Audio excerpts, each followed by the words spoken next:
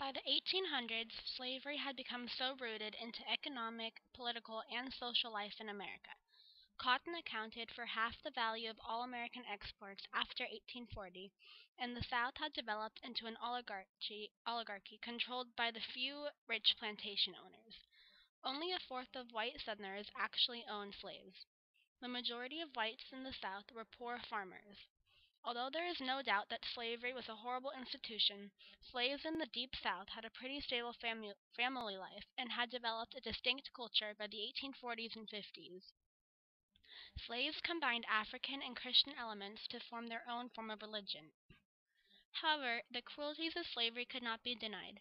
The abolitionist movement started to take on greater, greater momentum in the 1830's with the Second Great Awakening. William Lloyd Garrison inspired the American Anti-Slavery Society when he published his anti-slavery newspaper, The Liberator, and Fred Frederick Douglass, one of the greatest black abolition abolitionists, gave stunning speeches after escaping from slavery himself. In 1836, the, the South was starting to fear for the future of its peculiar institution, and drove through Congress the Gag Resolution which requ- required all anti slavery petitions to be tabled without debate. At this time, although there were many abolitionists, the majority of people in the North were still undecided about their position on slavery. When Whig candidate William Henry Harrison won the presidency in the 1840 election, the Whig party leaders like Henry Clay and Daniel Webster were elated to have an executive that would pass their legislation. However, Harrison died a month into his presidency, and was replaced by his de- Democratic Vice President, John Tyler. The Whigs pushed for a nationalistic program, including higher tariffs and, and another Bank of the United States, but Tyler vetoed the bank proposal and the majority of other Whig legislation, because the Whigs were unwilling to compromise enough with Tyler. The 1844 election was seen as a mandate for manifest destiny with the election of James K. Before Tyler left office, he started the process of acquiring Texas through a joint resolution that required only a majority vote to pass in both houses. It passed early in 1845, and Texas was invited into the Union. Polk also wanted to buy California from Mexico, but after Texas joined the Union, relations with Mexico were ruined. In 1846, war was declared on Mexico after Mexican troops crossed the Rio Grande and attacked American troops who were stationed there. American war operations against Mexico were completely successful, and the Treaty of Guadalupe Hidalgo was signed in 1848. In 1849, the discovery of gold in California sent a rush of pioneers out west, hoping to strike it rich. Because it filled with people so quickly, California bypassed the territory stage and applied for statehood in 1849 after writing a constitution that excluded slavery.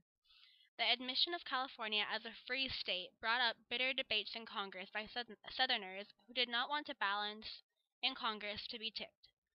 In 1850, a compromise was finally struck after Henry Clay and Daniel Webster made powerful speeches urging the two sides to compromise.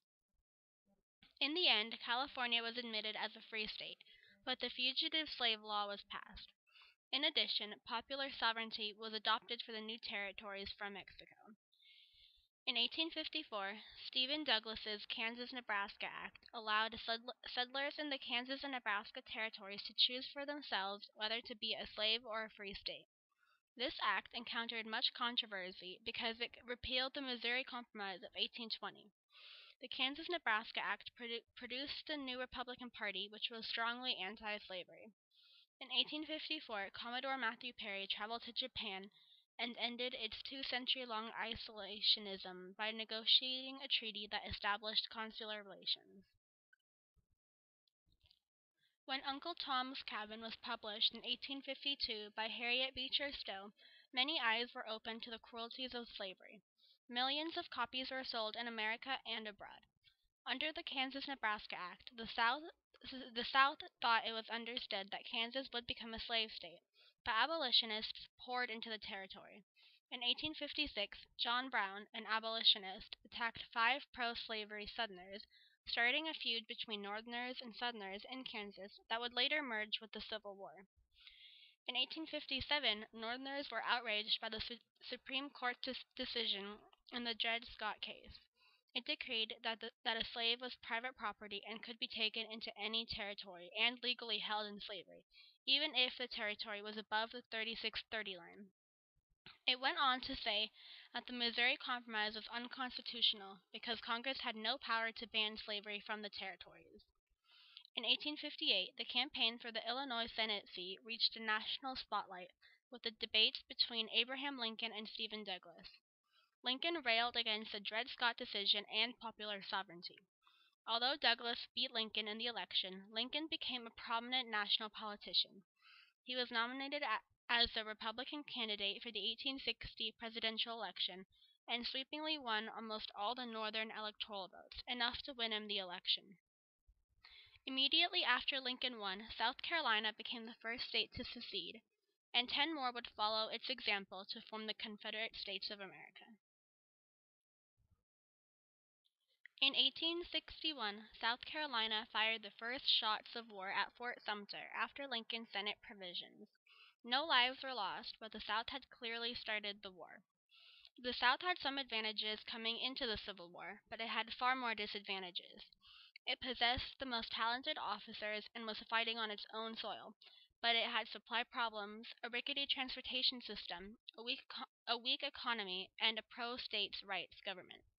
The North had incompetent generals at first and inexperienced soldiers, but it had a huge economy, the majority of the wealth, railroads, a superior navy, and a bigger population.